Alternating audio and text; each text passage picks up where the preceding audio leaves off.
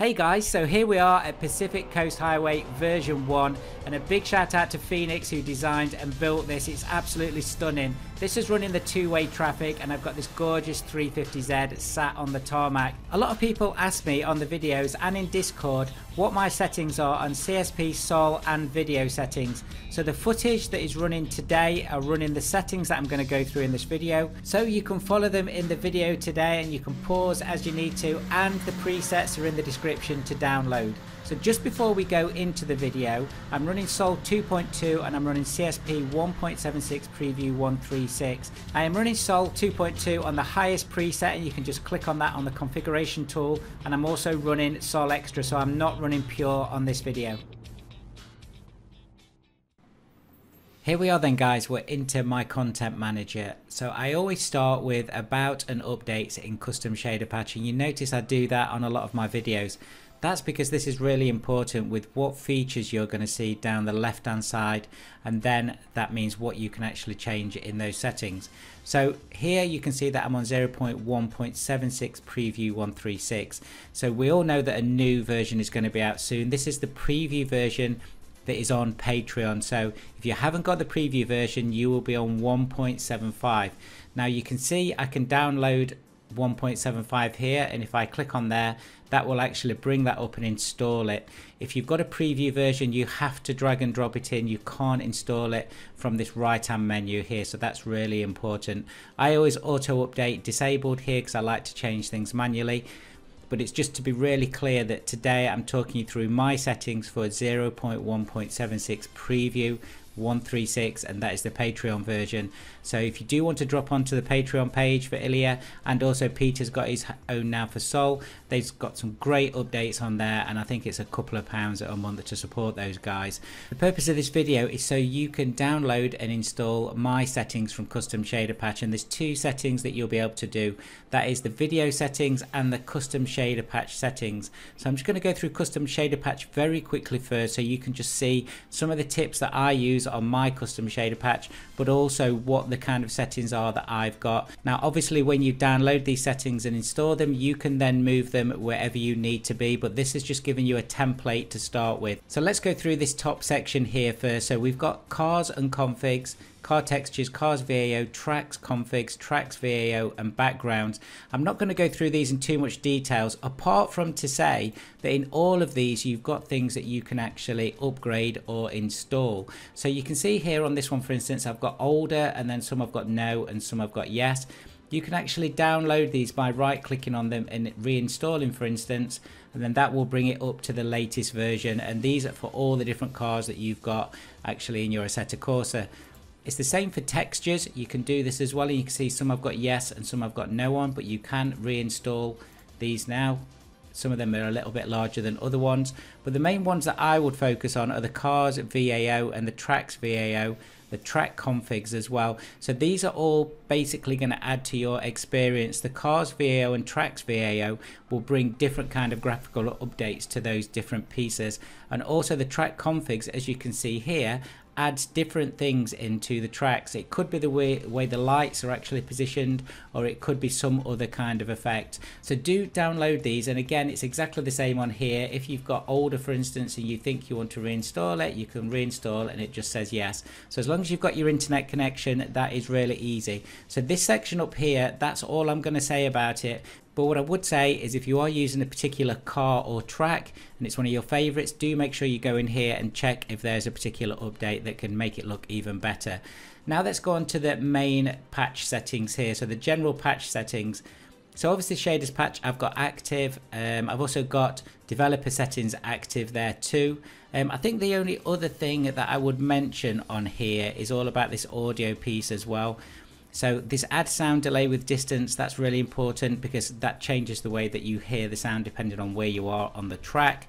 There's also these physics tweaks as well that if you are using the preview versions now, you can actually start to mess about with these and especially this double precision physics engine, which is the floating point piece that means that you get better force feedback and um, potentially with bigger tracks.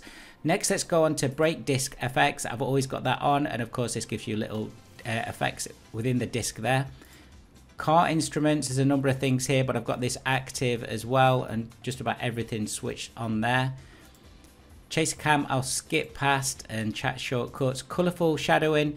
Um, I don't know if you've seen my video that I did on the channel on this when this originally came out about three or four months ago. But as you can see by this picture here, it makes a significant difference depending on what colours you've got around the cockpit. It looks really good as well. So this is definitely something to add and I've got all of those active there. Digi, I actually leave that now, um, but extra effects I've got active. Now, I don't put motion blur on. I don't really like it. Um, I don't think it suits the game particularly, depending on what you're doing, of course, but you can switch that on if you want to. Um, all the others I've got switched off, apart from temporal, anti-aliasing, and local reflections. Um, and I've also got some different pieces down here as well, just to make sure that I've got all these extra features added here. Fake Shadows FX I've got activated. And again, this was in a video that I did a few months ago where if the car leaves the ground or even if it's on the ground, you'll see some form of shadow there. Um, but it does, the shadow does scale with what's happening to the car, which is really cool. And of course, you can change a number of these pieces here. Uh, force feedback tweaks, uh, the one that I use mostly, well there's two on here, I've obviously got it active, but it's these two pieces here. I think that's um, that's great, but um, all three of these, it's worth just experimenting a little bit with that. And I'm going to be dropping a video definitely this week on force feedback. I'm halfway through um, putting that together that tells you how to set up your force feedback in a good way for Assetto Corsa. So look out for that later on in the week. FreeR camera, um, I've just got active and that just allows you to move your camera in different ways, which is great. Um, and then graphic adjustments, I've got active. And then this is the big one really. So this AMD Fidelity FX Super Resolution, I know uh, it was a big thing when it came out and it was implemented in CSP, amazing from Ilja and the developers. But do experiment with this as well. Obviously, you can change the quality and the sharpness as well. And I am conscious that all of you have very different rigs. So, you know, this is something that I have on. Um, I think it absolutely is going to improve the visual quality of Assetto Corsa and it's almost definitely going to improve your frames per second as well. So definitely worth having that on there as well. This origin shift as well, if you are using certain maps, this can help to um, stop any kind of um, shaking on the map or other things that may happen that are a little bit strange. So that's worth um, putting on too. Um, and I think that's it. Oh, the new shader for human skin that came out a few months ago. That's pretty cool too.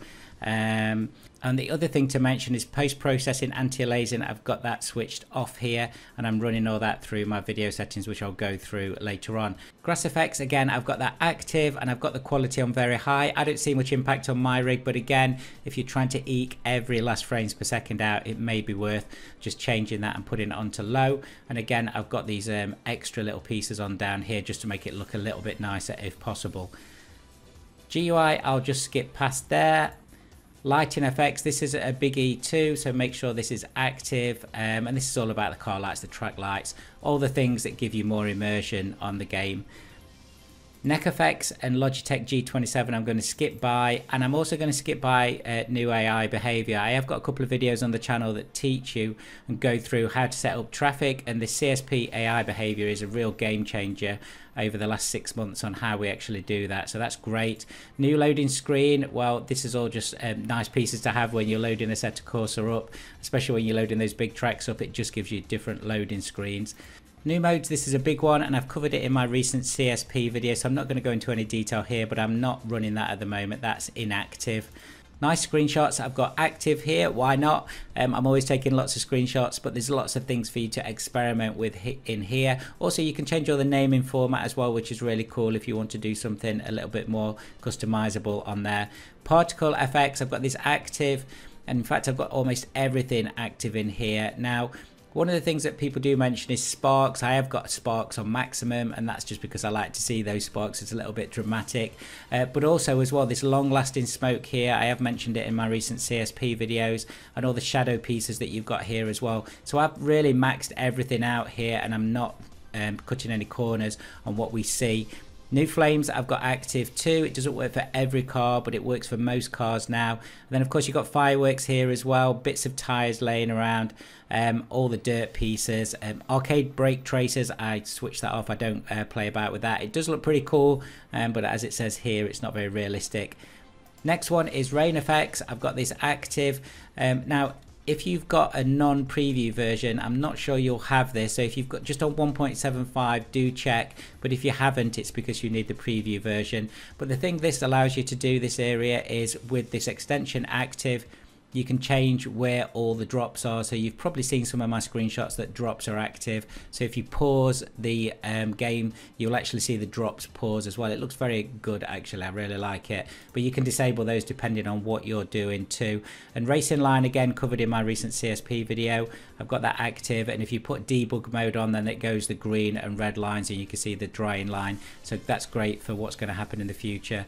Um, and I'm sure 1.76 a latest preview or the full 1.76 is going to be out very soon I know we're all looking forward to that Reflections FX, um, I've got active here, so improves interior reflections by masking the outside ones with the silhouette of the car interior.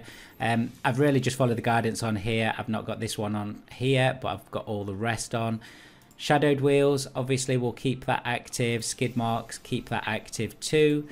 Smart mirror, again, this is something that you can play about with depending on your frames per second. I've got it at 1600 meters there, but I have got this active. I've got post processing for virtual mirror, a bit of shaking on older cars at high speed active. All these little pieces of immersion, when you dive into custom shader patch, you really start to see things that you probably don't think you need, but when you put them on, they do add a ton more immersion. Smart shadows, um, this is active and again this is shadows for the track and all sorts of different pieces there. The taskbar one is a good one as well. So you, the taskbar on the right hand side, you can put, put that active and you can change the way it works. So if you if you have gone into your apps and you've enabled all your apps and you're not seeing them properly, do just check in here to make sure this is active and you've got all of these um, ticked as you should do. Track adjustments um, adds a little tweaks for tracks such as adjustment amount of spectators to given race type. So if you are racing around a track uh, with 20 cars and there's no spectators, it might be that you've got this hide all the spectators ticked here. I have this adjust amount of spectators. I think that's really good. So if you're on practice, there's not as many, and then races, there's more. Um, hide crew in track day mode, etc. So a number of different things you can put there. Tire effects active, so this is the deforming and damageable tires. That's definitely one you need to have on. And then weather effects, this is a real big one. So I've done a number of videos on where we are with this. There's two things that will happen. When you install Sol, you will get your controller script here. So as you can see, I'm on version 2.2. That's Sol 2.2 that I've got installed, and that's the controller script from Sol 2.22.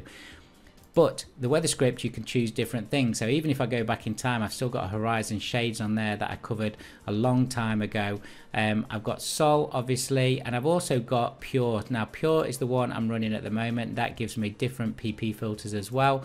But I can just quite as easily just go back onto Sol 2.2 and run it that way too. So weather effects, really important. Do check what you've got in here if you don't get the right controller script in here or something's missing out a weather script, it's probably because there's been an install problem or you've got duplicate files. And I always say, and I've done it on all my Sol videos, is that if you get to that point, just take all Sol and CSP off, manually remove it, remove the files, especially Sol, and then just follow the manual install process for that. There's actually a sol uninstall.bat file that you can run that uninstalls Sol properly. So if you've got any kind of doubts, that's what you need to do. There's a couple of other pieces in here as well. Force AI headlights is always worth putting on. Um, and then there's a, a, couple here, including including Force headlights for other drivers online as well. Windscreen effects. Uh, so this is kind of um, speed shadows on the windscreen.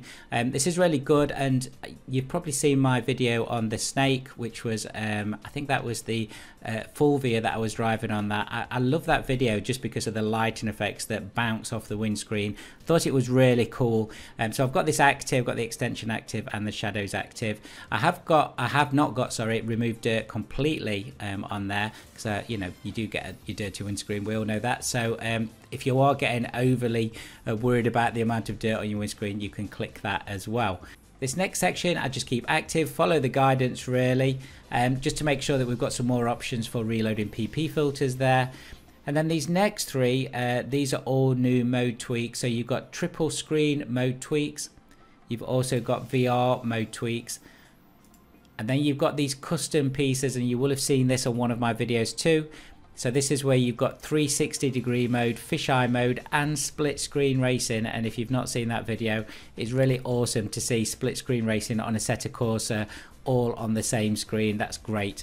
Um, last one is music really that I'm going to talk about and this is a labeling you to bring in some playlists for your music. A number of the cars now you may have seen it you can actually bring your Spotify playlist on there and all the dashboard works correctly. It's really great stuff. So that's it. That's my main um, custom shader patch settings. Next I'm just going to go through the video settings. Next up then we're going to look at video settings. So again we're just going to go into settings, Assetto Corsa this time and we're going to go to video. Now I am going to save this as a, a, separate link so you will have a link for the custom shader patch if you want to install those settings and you've also got a link for this video setting pieces. It's really simple on this one. I've really maxed everything out. The only thing I don't have on here are motion blur, heat shimmering, FX AA I am running Sol Extra, so the footage you see at the beginning of the video and at the end of the video is exactly with all the settings that I've got on here and with Sol Extra so I'm not using any of the pure PP filters at the moment. So I am running at 4k on there but the video will upload at 2k also on quality reflections and of course post processing and this mirrors piece here. I've got everything on the highest quality. Now one of the cool things you can do on this and I know I've mentioned it before but I'll just mention it again for anybody that's new to the channel and has not used it. You can use these little eye buttons that bring up what the performance hit is. So you will see my um, frames per second You'll see here that I've got 72.7 frames per second on my last session. That is running in 4K with all the video settings on max and with everything in CSP switched on that I can switch on. So that's not too bad. If I did start to lower my quality a little bit, I know I can get over 100 frames per second quite easily, but I choose to run it this way for you guys depending on your video card and your CPU and also what you're running because if you're running traffic as well remember it's going to pull your frames per second down quite a lot. It uses a lot of CPU for that really just tweak these depending on what you want but always use these eye buttons. And you've also got the benchmark button in the corner that if you do click on that it will run a quick lap. It ran a lap of spa on mine earlier on to get that 72 frames per second. And it will just show you what kind of benchmark score you will get. So really interesting stuff here. So I think this area this video settings is one of the most important for frames per second I've got a couple of videos on the channel that talk through it in some more detail if that's what you need. But do remember some of those custom shader patch settings as well. They can be quite hungry on some of your resources. So again it depends what video card you have got so guys, that's a quick run through of my settings. I have shared both of those links in the description. Remember, one is for the video settings, one is for custom shader patch. Do remember as well that I'm running preview version here, as I said at the beginning of the video. So if you do want the exact settings as mine, then do grab the preview version. And I know a lot of people actually run that now and have got that. And if you haven't got the preview version, that's no worries. You can still use the video to refer to some of the settings that I've got and just pause it along the way. So guys, I hope that's been useful. I've got some brilliant videos coming this week, more on CSP and Sol Force feedback, and I've got an awesome car pack for you as well so we'll go through that later on in the week. As ever thank you again for all your support. Do remember check out discord. We've got over 2,000 people on there now and I know Hippie and Jorg are still organising all the races on there that you can take part completely free of charge so do try that out. And I know I've been saying it for a few weeks now but there are some streams coming both on YouTube and on Twitch so that's going to be happening a lot over Christmas as I get more time with the channel do also remember to check out the rest of the channel. There's over 250 videos now on there, mostly Assetto Corsa, but all sorts of other sim racing content too. And if you do want to see something specific on the channel, whether that's another sim racer or it's something on Assetto Corsa, do drop it in the comments. Thank you again guys and I'll see you very soon.